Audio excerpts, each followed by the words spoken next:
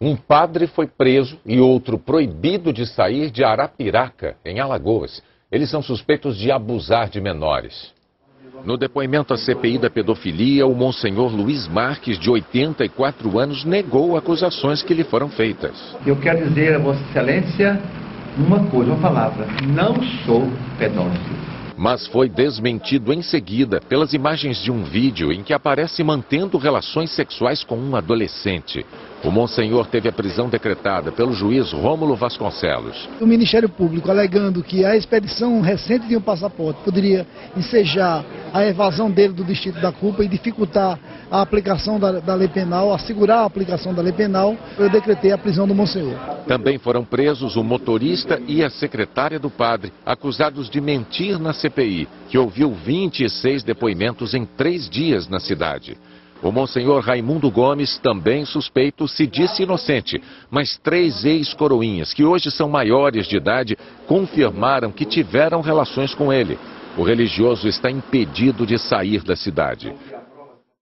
Um terceiro padre da cidade confirmou todas as denúncias à CPI e admitiu o uso de dinheiro dos fiéis para atrair adolescentes. O Vaticano reagiu hoje ao que chamou de, de campanha agressiva contra o Papa. Quem se manifestou foi o porta-voz.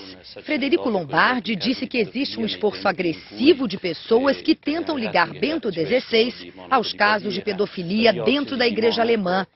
Em entrevista a um jornal italiano, o promotor da Santa Sé afirmou que as acusações são caluniosas, mas reconheceu que nos últimos nove anos, 3 mil denúncias foram feitas contra padres por abuso de menores.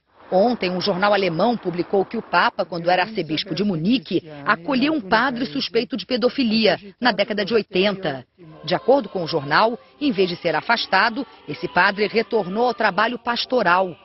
Ontem também um subordinado de Bento XVI, na época, assumiu toda a responsabilidade pelo caso. A igreja alemã pediu desculpas às centenas de vítimas de... o Papa Bento XVI nas acusações de que a igreja católica protegeu padres suspeitos de abusos sexuais. A carta é de 1985, quando Joseph Ratzinger era cardeal e comandava a Congregação da Doutrina da Fé. No documento, Ratzinger se diz contra a expulsão do padre Stephen Kisler, que tinha sido pedida pela Diocese de Oakland, na Califórnia, depois que o sacerdote foi acusado de abusar de dois garotos.